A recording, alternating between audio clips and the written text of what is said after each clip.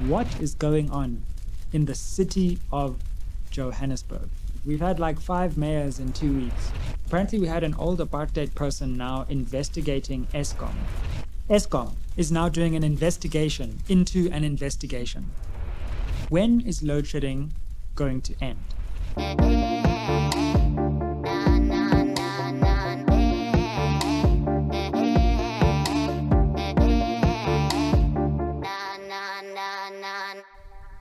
Spread the fire. Welcome back to SMWX. Thank you so much for the positive response to our recent analysis video, which has got over 120,000 views.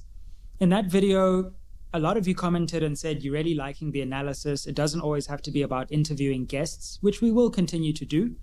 But I thought I'd provide you with some more of my own thoughts and insights on, well, insights to the extent that they are insightful, on South African politics right now. And I want to experiment with not just looking at one topic, but actually talking about three different topics. So comment down below if you enjoy this format and we'll continue to do more of it. So I want to talk about three things in this video. The first thing is just the constant rolling blackouts, load shedding, the situation with Eskom, Andre de Ruyter corruption, that whole set of questions, which we've been focusing on on this channel.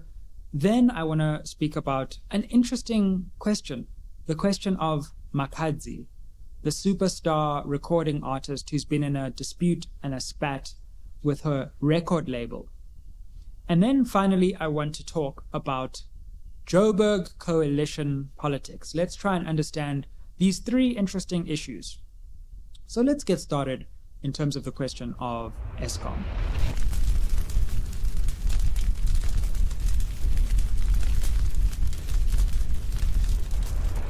I'm quite interested in the way the story is unfolding because you'll recall that the Eskom CEO, former CEO Andre Ruyter, came out in an interview with Annika Larsen. Shout out to Annika Larsen for that interview, where he made these very serious allegations about corruption, saying that there were two senior ministers involved in effectively cartels that were milking Eskom and of course, this was a serious allegation, and everyone, because of our history with corruption and state capture in South Africa, was like, okay, who are the ministers? Tell us about the situation. But the story has become more complicated. So, senior investigative journalist um, Jacques Pauw, who's written a lot of books, most noteworthy, The President's Keepers, which sold a whole lot of copies, which was about the Zuma years, said that he was writing a book with um, the Eskom COO, I think it is, um, Oberholzer is his surname. And they were going to do a kind of expose book together about Eskom. So Jacques Pauw would be the journalist, the Oberholzer guy would be the internal Eskom person. But as Jacques Pauw, according to an interview he did, as well as some reporting in News24, as Jacques Pauw went deeper into this, he says that he found that De Ruyter's allegations were based on a private intelligence report. So basically, De Ruyter went behind a lot of backs and got a private firm to do intelligence on Eskom, where he was CEO. Now, he says he did this, or it seems he did this, because he was frustrated with how slow law enforcement was in terms of investigating corruption. But there's an even deeper problem because apparently this private investigative firm that was looking into this corruption on which De Ruyter founded his claims, apparently this was run by some former apartheid spy or security agent uh, by the name of Tony Oosthuizen, according to Pauw. So in democratic South Africa, we had an Eskom CEO enlisting a former apartheid securocrat type person who uh, says has been implicated in like assassinations and the Bureau of State Security. Google those evil and terrible chapters in South African history. Apparently, we had an old apartheid person now investigating Eskom and Andre de Ruyter making claims based on this investigation.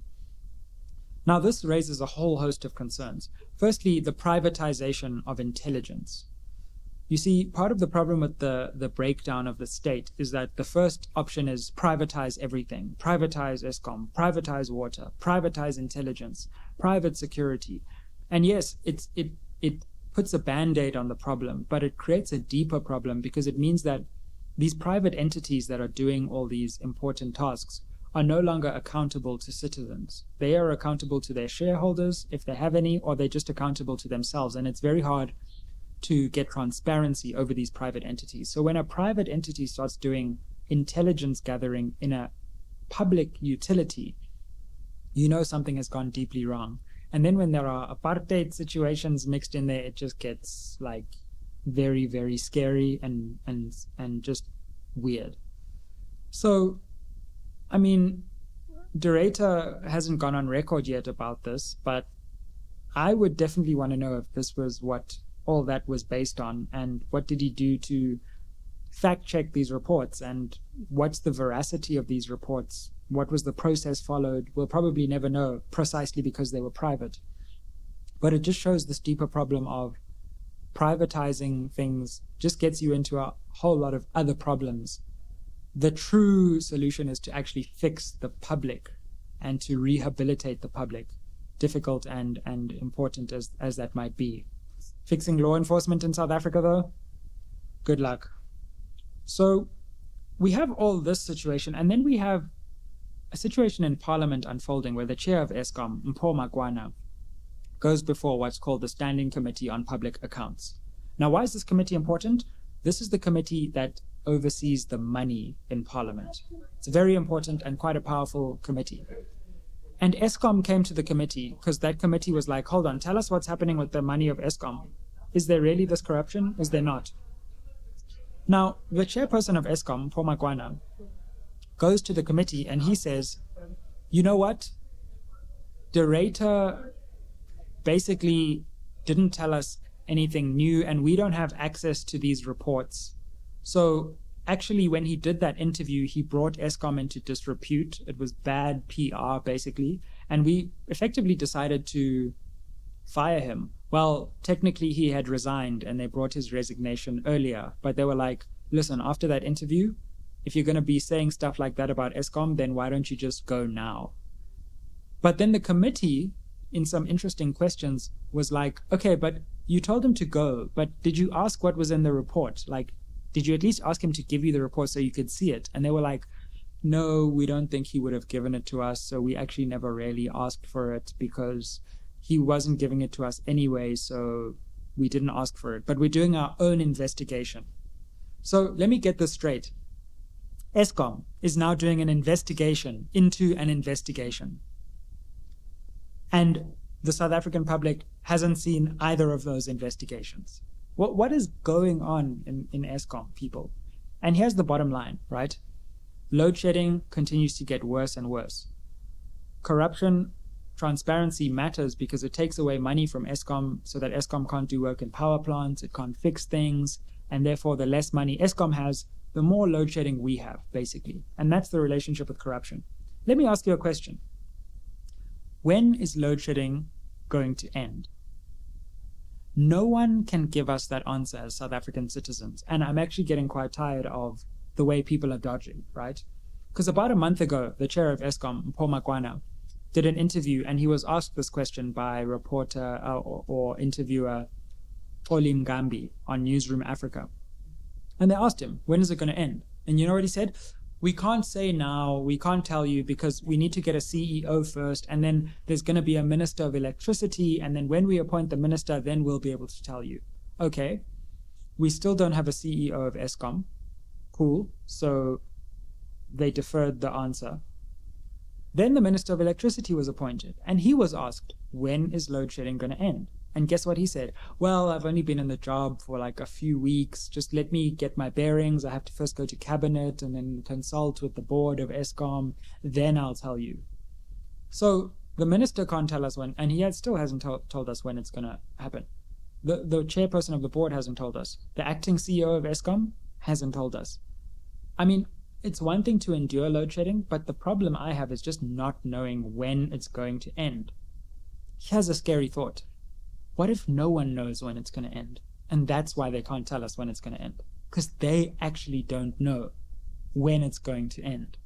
And this is a question we need an answer to, and we need an answer to fast. And I'm hoping various journalists and others, MPs, parliamentarians, we need this answer now because it can't be this shell game of like, I can't tell you because this person needs to tell you, but then you ask that person and they're like, no, someone else needs to tell you. We need a date and we need to hold people accountable because if you don't have specific promises, then you can never be held accountable because then you say, well, I didn't tell you it was going to end next year, so I didn't fail. And that's how we are in the situation all these years later. So that's the Eskom situation. Let's move on to topic number two.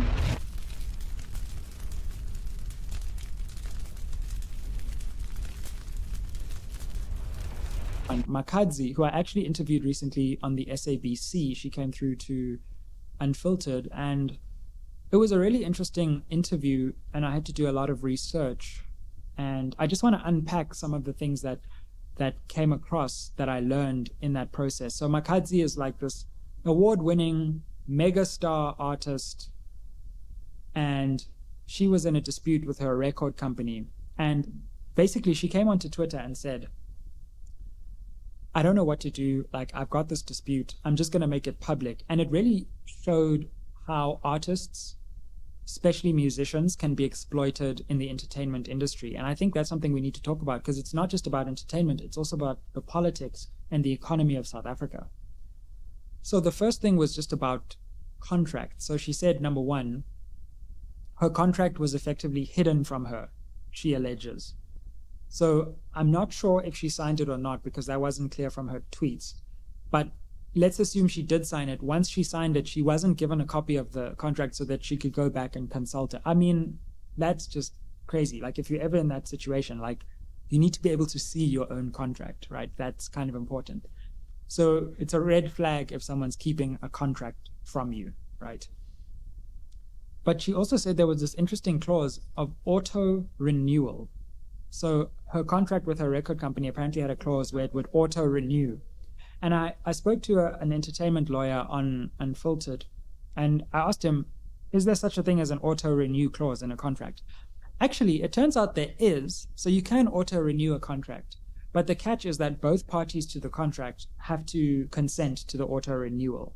So it's like you don't have to write a whole new contract if you want to extend your relationship, but you should both agree that the contract is going to be renewed. Now, if one party says, I don't want to renew, then you can't just unilaterally soma say, well, we're renewing anyway because we're auto renewing. So the label seems to, like Makhadzi said she didn't want to renew, but then the label was like, no, we are just auto renewing because the contract says we'll auto renew. So that's another red flag, I guess, to look out for as anyone who's an artist in the entertainment industry. Like contracts are based on consensus, they're based on an agreement between parties. So if you don't agree with something, you shouldn't feel like you have to sign it. And if someone tries to extend a contract without your volition, then you should raise a red flag. And obviously you should be able to see your contract once once you have it. So I think the Makhadzi thing is interesting also just because it goes to like a deeper question about the exploitation of artists. So artists and people in the creative industry often aren't thought of as workers. And then the protections that fall under labor laws don't apply to them because they aren't seen as workers. So if you're a worker, you get certain protections, but if you're not a worker, if you're not defined as a worker, as often creative people aren't, then you don't get those protections.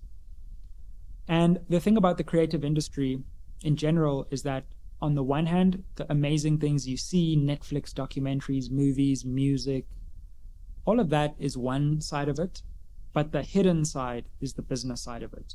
And creatives often spend a lot of time focusing on the creative side to the detriment of the business side. And I guess it's just about thinking of the business side as another creative thing that you have to figure out and master. So thought, those are some thoughts on the Makhadzi issue and the general exploitation of musicians and artists in South Africa. Your thoughts? Comment down below. So, and check out the, the interview with, with Makhadzi as well. Finally, let's come on to the question of Johannesburg's coalition politics. My, my, my, what is going on in the city of Johannesburg?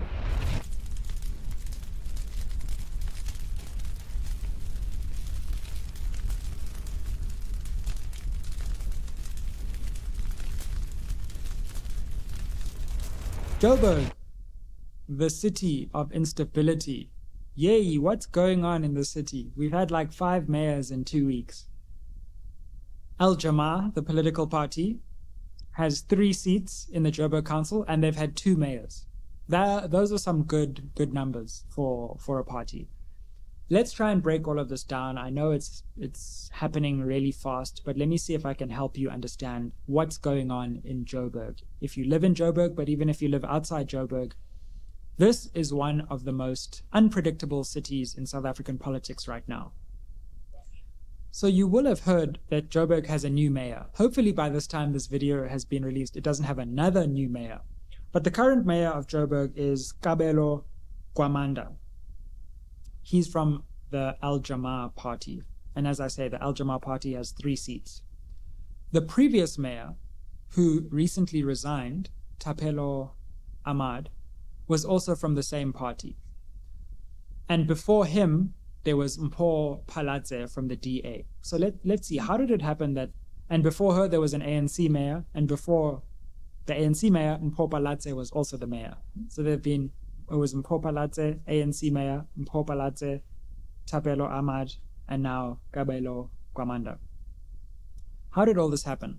The Joburg Council is divided in the following way. There's one block, which is basically the ANC and the EFF. So if you put their numbers together, they have roughly a similar number of votes. Then there's another block, which is the DA, Action SA, the IFP, the ACDP, and the Freedom Front Plus. And if you put their numbers together, they roughly have similar numbers, right? So the Joburg Council is evenly poised. Then you have the Patriotic Alliance, Gayton McKenzie's party. And they basically hold the balance of power. So if they go with the one block, then that block will have a majority. But if they go with another block, then that block will have a majority. So they kind of swing between these two blocks. Now, the Patriotic Alliance started off supporting the DA bloc. So Mpho Phalatse became the mayor after the 2021 election. The Patriotic Alliance, ActionSA, Freedom Front, IFP, all of those parties got together and they formed um, they formed a government in Joburg. But then, over time, the Patriotic Alliance started being swayed by the ANC. They claim that the DA was arrogant and all of that. And to cut a long story short, they shifted across to the ANC and EFF. So those uh, parties came together and they voted in the ANC mayor. But then that ANC mayor was voted out. Mpho Phalatse managed to get a, cobble together a, a, a big enough voting block and she came back in. And then once again was voted out. So as you can see, the PA keeps shifting, and when the PA shifts, the balance of power shifts and a new party comes in. But the interesting thing recently is that because the ANC and the EFF don't necessarily see eye to eye, they can't agree on one person from their party becoming the mayor now. So what they've done is they've said instead of an ANC mayor or an EFF mayor in Joburg, they're going to elect someone from a minority party that they both support and whose support they enjoy. And that person will be the mayor as a kind of compromise between the two. And that's how we've got these part, uh, candidates from minority parties being catapulted to the level of mayor. And Al Jama is one of the smaller parties that has sided with the EFF ANC bloc, as it were. So they've kind of put Al Jama into the mayorship as a compromise between the two because they, they can't see eye to eye on either one of them. And a similar thing has happened in places like Ekurhuleni, where the current mayor is from a very small party called the AIC, not the ANC, um, Sivuyile Ngodwana. Ideally, the EFF wants to run Ekurhuleni and have a mayor, and they will then allow the ANC to run Joburg and have the mayor. But because they can't agree, they've said in both places they're actually going to have these minority compromise candidates. Now, on the one hand, that's been seen as anti democratic because ideally you would have a mayor who enjoys the party support of a majority of the residents. But there's nothing const- unconstitutional about it. Anyone in a council can become the mayor.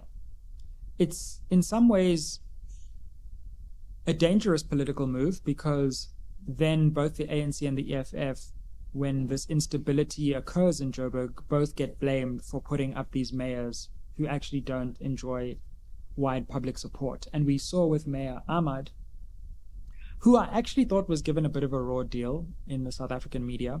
I happen to know him, so um, yeah, I think I think there's more to him than than um, than came across in some of his controversial interviews. But part of the reason why there was such a backlash against it is because these parties don't enjoy wide public support. And as a mayor, what you trade in is political capital. So if you don't have a lot of political capital and you rely on other parties for their capital, then it's easy to become isolated in the media. So I think that's one of the dangers of the strategy. But effectively, to cut a long story short and really to just try and get your head around it, that's what's happening in Joburg right now.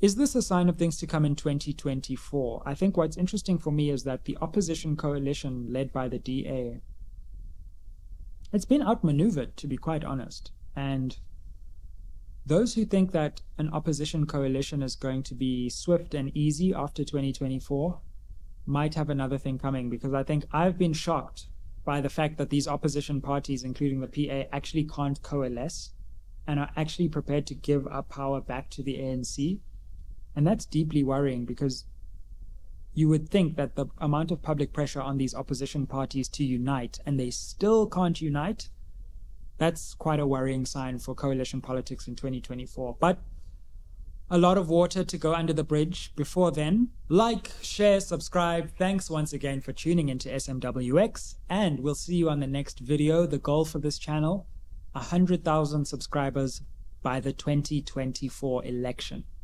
I think we can do it. And then imagine this platform will have a major say in the digital world of the 2024 election. That's going to be interesting. Thank you for sharing. Thank you for liking. Thank you for subscribing. Keep it locked on SMWX. Comment down below with any of your thoughts. Do you agree? Do you disagree? This is a free place for debate and discussion. And I look forward to seeing you on the next one. You.